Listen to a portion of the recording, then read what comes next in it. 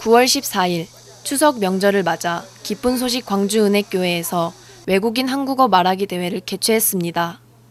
지난 IYF 월드문화 캠프에 참석했던 서부 아프리카 지역 IYF 회원 34명이 참가한 이번 한국어 말하기 대회는 광주에서 훈련하는 3개월 과정의 신앙 훈련 프로그램 중 하나로 준비되었습니다. IYF 광주 지부는 한국어에 대한 부담을 극복하고 실생활에서 만나는 어려움을 이겨나가기 위한 도전 정신을 기르기 위해 이번 행사를 마련했습니다. 아프리카 사람들이 한국어에 대한 부담을 많이 느끼고 어, 한국말은 참 어려운 언어라고 생각을 많이 하고 있는데 이번 추석 명절을 맞이해서 한국어 말하기 대회를 통해 어, 한국말이 어렵다는 그런 부담을 뛰어넘고 또 도전할 수 있는 그런 계기를 주기 위해서 어, 한국어 말하기 대회를 개최하게 되었습니다.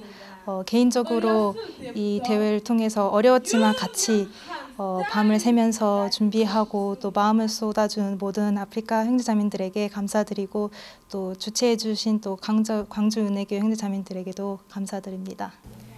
이번 행사에 참가한 서부 아프리카 7개국 회원들은 바쁜 일정 속에서도 마음의 변화와 가족의 사랑을 주제로 한국어 원고를 작성했으며 한국인 형제자매들에게 교정을 받고 연습을 반복한 후에 무대에 섰습니다.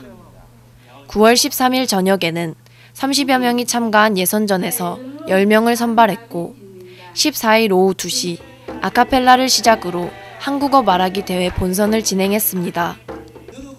IYF 광주 전남 대표 고문 박희진 목사는 한국어 말하기 대회를 준비한 회원들에게 한국에서 지내는 동안 하나님의 마음을 품고 사는 법을 배우고 서로 마음을 나누면서 교류하길 바란다며 한국어에 도전하는 회원들에게 큰 박수를 보낸다고 격려했습니다.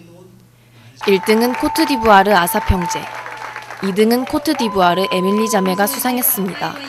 La chose la plus difficile que j'ai rencontrée dans cette compétition, c'était de me débarrasser de la pensée comme quoi je suis le meilleur. Mais au cours des présélections, il y a eu un incident. Pendant ma présentation, j'ai oublié à plusieurs reprises ce que je devais présenter euh, à l'audience. Et du coup, ça m'a permis, ça a été facile pour moi de me débarrasser de cette pensée-là lorsque j'ai rencontré plus ou moins ce, que je pourrais appeler un échec. Et donc, ça m'a donné cette volonté-là de m'appliquer sérieusement pour apprendre et puis aussi écouter les recommandations de euh, mon coach.